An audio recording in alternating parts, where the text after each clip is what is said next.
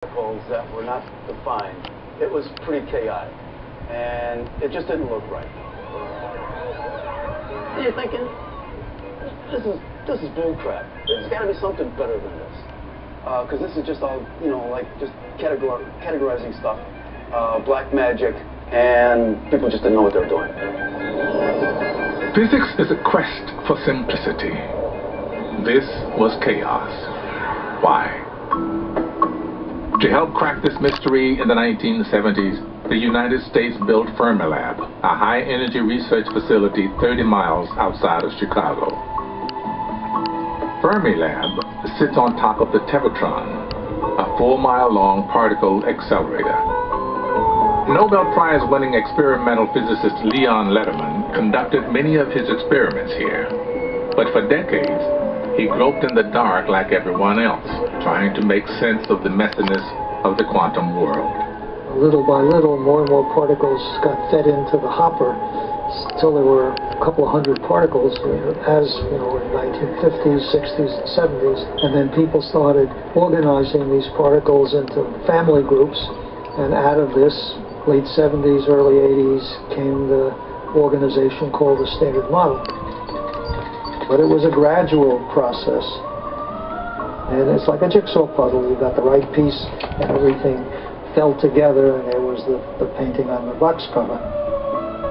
After studying thousands of these jigsaw puzzles, physicists began to understand what they were looking at. Rob Roser runs the giant detector that takes pictures of matter and antimatter collisions inside the Tevatron. Behind me is an event display of a proton-antiproton collision occurring inside the CDF detector. You can imagine a proton coming from one direction in and out of the screen and colliding at the center point. And so by looking at the bend or curvature of the particle, if it's curved in one direction, that particle is positively charged If it's bent in an opposite direction, that particle is negatively charged. So if we just break this event down, you can see a single long pink object pointing to a big pink cluster. The more the color, the more energy that particle had. So you can see here in a single particle that gave up a bunch of energy right in the initial part of the calorimeter, that's indicative of an electron. Over here, you see a single line that's giving up energy in the back half of the detector, more characteristic of what a muon object would look like, a muon being a heavy electron. So we can start to get a lot of information by just looking at a couple of very simplistic ideas in terms of where the particles travel, how much they curved, and where they deposited energy in the detector. Today, after years of reading these subatomic tea leaves, physicists feel they are getting closer to answering the question, what are we really made of? The stuff that we are made of today only requires maybe a handful of little particles. The atoms on the outside are electrons whirling around, like planets, if you like. There's a nucleus in the middle of the atom, which we used to believe was made of protons and neutrons. Well, it is, but deeper down, they in turn, by going to the heart of the cosmic onion, are made of little things called quarks. And two types of quark, an up quark and a down quark. And that's it, an up and a down quark joined together in different ways ultimately make the atomic nucleus. An electron whirling around the outside makes the atom. Throw in a neutrino, which is created in radioactive processes, and that's the basic particles that make up everything that you see around you. There's also the photon of light, which we are seeing with right now, and that pretty well is it. Most of the atoms in our body are made of nuclei and electrons, and the nuclei themselves are made of protons and neutrons, and the protons and neutrons are made of quarks. And, of course, you say, what are the quarks made of? And that's where we, we're stuck. For the last 40, 50 years, we've been studying the quarks, try to find something inside, and we get the same results we had for the electron. There's nothing inside. The quarks don't have any size.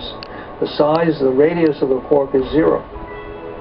It's a little bit like Alice in Wonderland. Remember when Alice saw the Cheshire cat sitting on the branch of a tree uh, with a big smile? Uh, and much to Alice's great astonishment, right in front of her eyes, the Cheshire cat started to disappear. And finally, poof, it was gone. But it left behind one component, its smile. That quark smile is a tiny box stuffed full of energy. All matter is actually made of energy that has congealed into particulate form.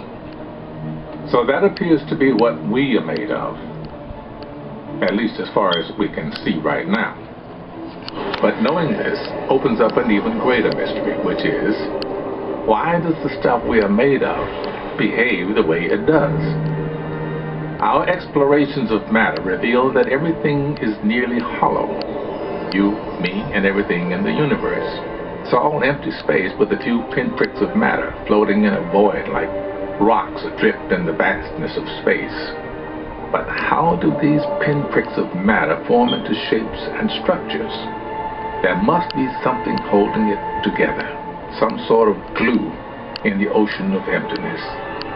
The question is, what?